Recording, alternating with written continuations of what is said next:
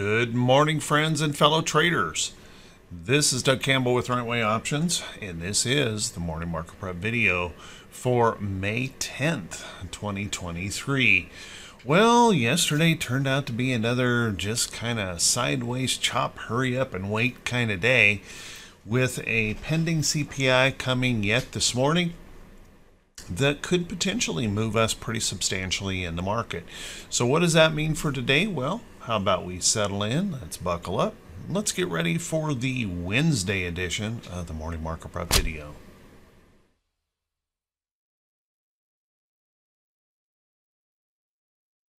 Good morning once again, everyone, and thanks so much for being here. I do truly appreciate it. You know, looking at the charts this morning, um, you've got to kind of understand looking at this that everything could change very quickly when the CPI number comes out this morning. So, you know, it's hard to um, it's hard to really envision what we might look at like um, just um, a little bit down the road here in uh, before the market opens. But let's take a look at these charts and see if we can look at some of the support and resistance levels if the bulls or bears are inspired. Now, one of the things because we are so coiled up, and what I mean coiled up is if you look at a 15 minute chart the last couple of days, we are just coiling up like a rattlesnake, waiting to strike one way or another in the market. And um, it's impossible to, to know which way that might go because of the numbers that are pending. So, if we get a number that inspires the bulls, then let's look for a retest up here first. There's a little bit of price resistance right in there, as you can see. If um, if we gap bigger than that, there is that possibility that we could move right up into here at that next level of resistance. And by the way, I could not rule out the possibility with a um, a good CPI number, meaning a weak CPI number, that uh, meaning that the Fed is done raising rates, that we could even surge so hard as to maybe test this resistance up here in the chart. Now, on the other hand, if the number disappoints and the bears are inspired, well, let's keep in mind we have a price support level right in here. We've been stuck in this chop range that we could quickly and easily gap through. So there's our first level of resistance. Our second level of resistance in the chart, I think, is back down there toward that 200-day moving average. So if we are 500, or excuse me, 50-day moving average. So if we fail this price support in here, then I think there is that possibility that we could move on down to retest that 50 of course, if that were to fail, then we're starting to look lower, close to that 200-day moving average, which obviously would be a very painful um, situation for the market if that were to occur. Now let's take a look at our SPY. SPY, very similar in, um, in the move, except SPY is more center of the range uh, in here. So if we get a good bullish number that moves the market to the upside, let's look for a retest of some of this resistance right in here, that last high push on higher and then even the ultimate test or possible breakout of the big resistance level that we've been dealing with for more than a month. On the other hand, bears inspired, well, let's look. Um, we've got a little tiny bit, and it is a little tiny bit, of possible price support right through here that could hold us if the bears are inspired. If that doesn't work, well, we're probably coming down into here or even all the way down to retest this double bottom here in the SPY. And of course, that is very, very close to the 50-day moving average. And that would be a possible test on a real ugly number in the market. Let's take a look at our QQQ. Now, the NASDAQ has been the strongest of the indexes. So, on a bullish move, on a bullish number, I think the NASDAQ has the best opportunity to break this resistance to the upside and really rip. So if we were to pop through this resistance to the upside here today, then I would look for the next stretch right up into here on the QQQ. So keep an eye on that. And if the bears um, have something to grab a hold of here, well, this is where it could get a little bit weird in the market because we've been counting on the NASDAQ holding this upside trend. And you could see pretty easily if the bears were inspired and if we break that support level right there, that we're going to be drifting back down below that trend and then that possible test of this price range here in the chart and that potential support level. If that were to give up, then I think we could have a very different market really quickly. We might catch an air pocket underneath here um, if that were the case. So watch carefully for that if those bears are inspired. And then if we look at IWM, well, IWM remains the weakest of the indexes, although it did try to rally yesterday. Here again, bulls inspired. Let's look for a retest of this downtrend resistance area in the chart right in here. And if we are really inspired to the upside, maybe we could finally push through there and push through this resistance level in the chart and try to get up here, maybe hold for that bullish run to the upside. If those bears are inspired, well, uh, I think about the only thing we've got to hold us in here right now is that prior low, this resistance um, support level here in the chart, which we failed last week, and that possibility that we could be down here if that fails. Uh, for another retest of that low. Now, looking at our moving averages here, you can see there's really nothing under us but price and uh, unfortunately, all of our moving averages above are very bearish at the moment, putting kind of a, um, a moving average squeeze to the downside as a possibility in the Russell. So keep a close eye on that. Now let's take a look at our VIX real quick. And our VIX um, yesterday rallied just a little tiny bit, but honestly just kind of acted like nobody cared what was happening. It was just a hurry up and wait kind of day. So if we find the bulls be inspired today, then I would look for a retest of these um, areas here in the chart, some of these support areas maybe even down through there if we can get a good bullish inspiration number in uh, in that CPI.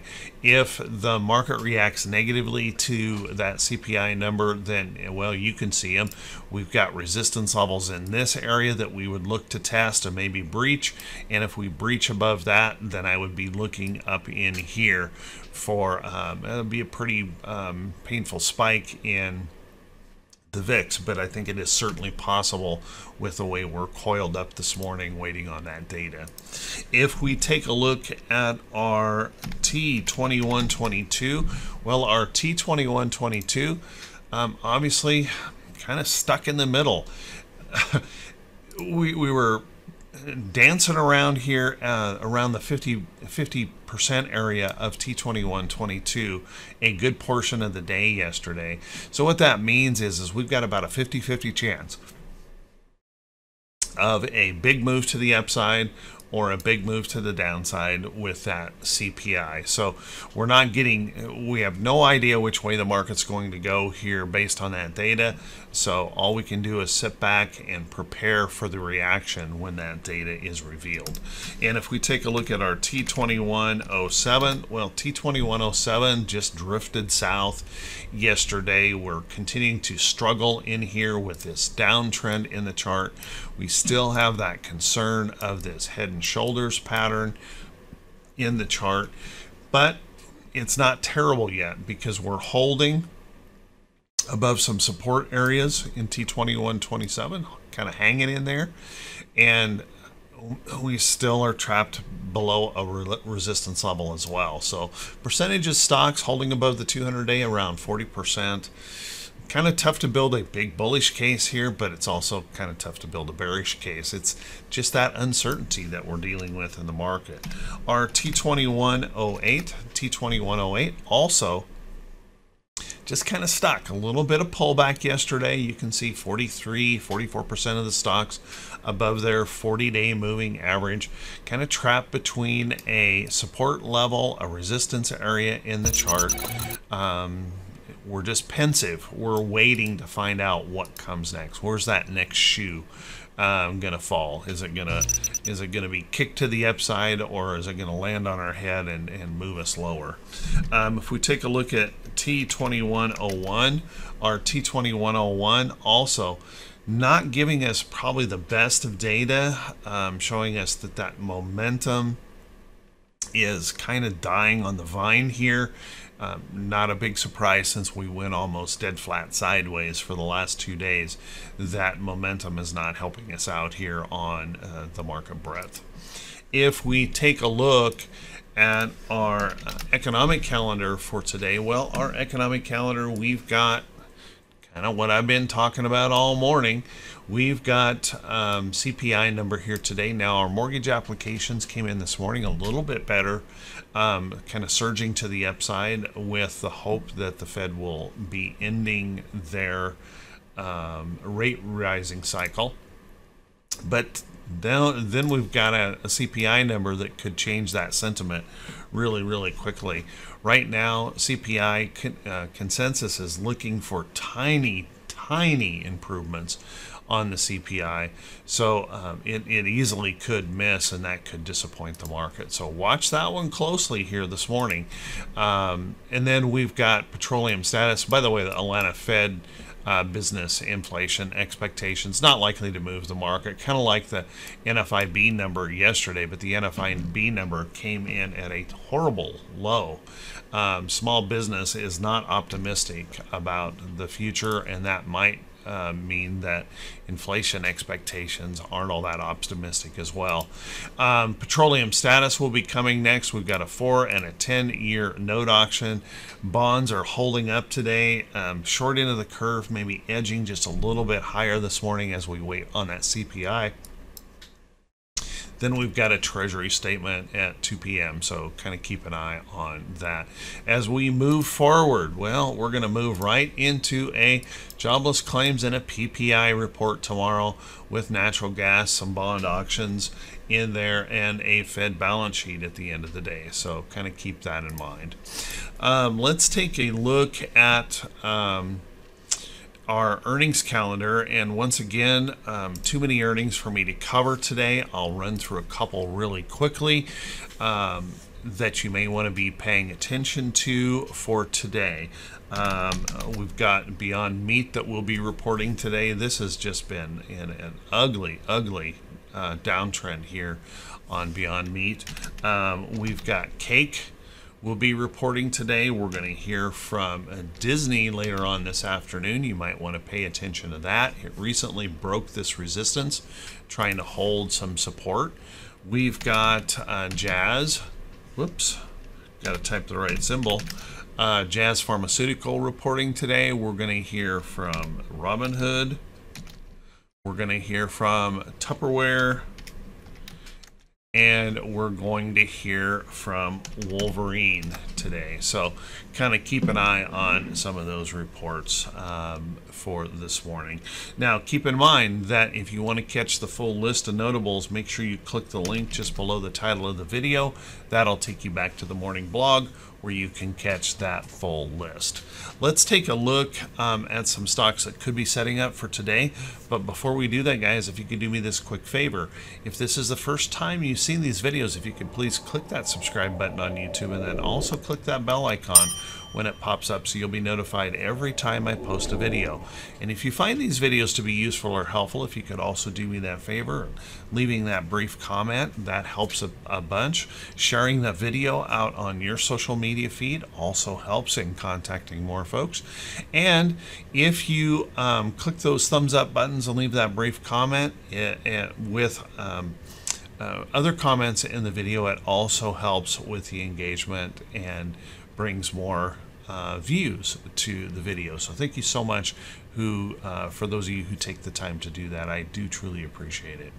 Let's take a look at some of these charts and remember um, this they are not a recommendation to buy or sell any security make sure you're doing your own due diligence making sure you're following your current your trading plans, your risk tolerances, and never ever blindly follow someone else's trade ideas. So, first off, let's take a look at some of the things that are working and um, kind of surprisingly working. Uh, defensive sector stocks have just been on this tear to the upside and they're not giving up.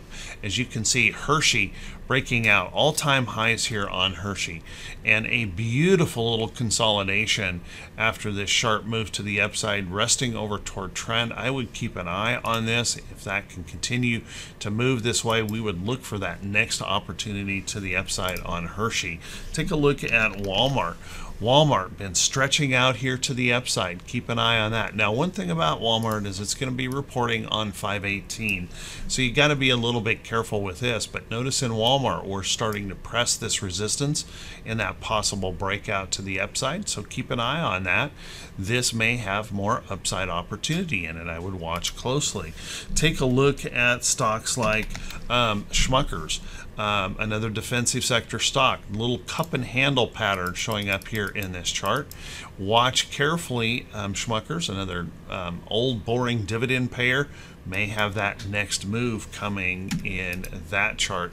And boy, I can just keep going. Um, um, there are so many stocks in this sector showing huge um, upside moves, very strong, um, and you typically would not see if the market was super, super confident that everything was great.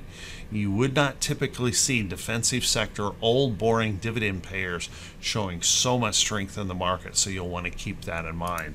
Let's take a look at uh, UUP, the US dollar today. This has been fluctuating back and forth pretty, pretty violently. Um, over the last month, just chopping in this range, gapping up, gapping down. Let's keep a close eye on this. The CPI number can have an effect on the dollar, whether it weakens or, or, or strengthens, just based on how the CPI number might feed into the next Fed meeting. So, kind of keep um, that in mind. And if we um, uh, weaken in the dollar, then I would be looking for gold and silver. GLD, which continues to move up, SLV, which continues to move up. I would keep an eye on those. Um, they're hanging in there pretty strong, particularly if that dollar weakens. If the dollar strengthens, then I would look for these to continue to pull back or consolidate and rest a little bit more because they have been quite elevated for some time if that dollar were to um, strengthen. Um, that being said, um, I'm really enjoying my position here in PHYS, which is a physical physical gold position. So keep an eye on that. You could also look at PSLV for some physical silver if you have an interest in that. Um, let's also take a look at um, a few techs that are man oh man uh, something really big happening here in AMD we we disappointed on earnings and gap lower and then there was a story that came out that said AMD is collaborating with Microsoft on an AI um, AI chips and th that kind of thing. And man we just went to the races here in AMD zooming right back up. So one of my criterias for a bullish chart is we must first break the downtrend and then we need to put in a higher low. And the reason I that's important to me because I've seen so many times when I have rushed into this trade only to have that reverse on a disappointment and come all the way back down. I need to see a proof of support, which by the way is the only way we can begin an upside trend um, by showing that proof of support. So watch that carefully. You can see that, that same pattern right here. Break down, rally up, find support, then we can move to the upside. So that's what I'll be looking for here in AMD, but I really like the strength of that chart. Um, NVIDIA, surprising to me that we are so elevated in, in NVIDIA on the PE ratio, but Analysts continue to push this higher. We've got a target up there around 350 from analysts. It's holding in there nice and strong. You can see this bullish break, maybe a little rest in here. We're a long ways away from this trend at the moment, but I still wouldn't um, rule out the possibility we continue to rally toward those earnings. So watch NVIDIA closely. Um, could be interesting um, in that chart. Um, other places that you might look, take a look at um, some of the healthcare areas. Merck, Merck continues to set up here. Nice little resting pattern after breaking through resistance, moving out to trend. Look for that next opportunity to the upside. And I think on Eli Lilly, you're going to have to wait for a while. Eli Lilly is just, uh, man, uh, it's hitting on all cylinders here, just ripping to the upside. Um, resting here the last few days, I think it needs a substantial rest here before I would be interested in diving headlong into Eli Lilly, but watch that one close. So, with that, guys, I want to wish you all a fantastic day. I want to wish you great results in your trading. Be a little bit careful, expect a pretty substantial move prior to the market open. Anything is possible, so be prepared for that. And um, I want to wish you great results in your trading. Have an awesome day, and we'll see you right back here bright and early Thursday morning. Take care, everyone.